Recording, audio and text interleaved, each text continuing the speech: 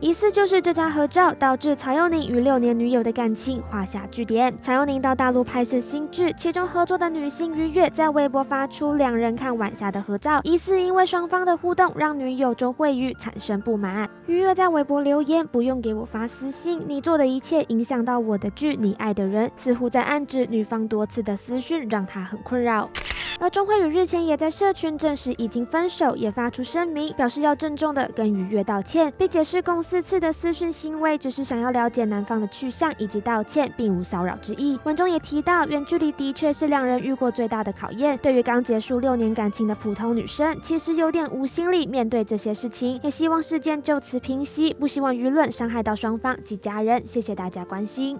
而曹佑宁也在 A G 表示，只有我们最清楚这段日子赋予人生旅程的意义。接下来也会更专注在工作上，抱歉打扰各位了。相信双方心里一定都不好受，只能让时间冲淡一切，并祝福两人未来都能各自有好的发展。完全乐综合报道。关注你